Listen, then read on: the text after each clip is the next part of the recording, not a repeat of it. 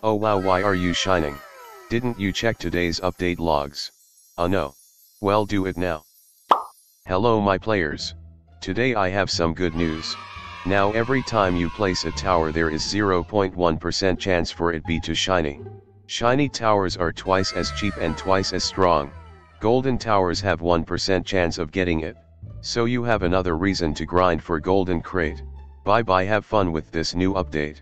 Wow this is 100% not going to suck. I was able to change the RNG for a long time now. But it wasn't much use before this update.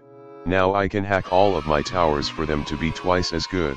And after that I will finally beat Molten Mode. Dude are you for real having problems with Molten Mode? Yeah it's hard. You know that Militant can beat it? Militant is a tower for noobs and I'm not a noob. Yeah sure do whatever you want I don't care. Haha this scout will bring me to victory. Thanks for reporting the hacker bacon.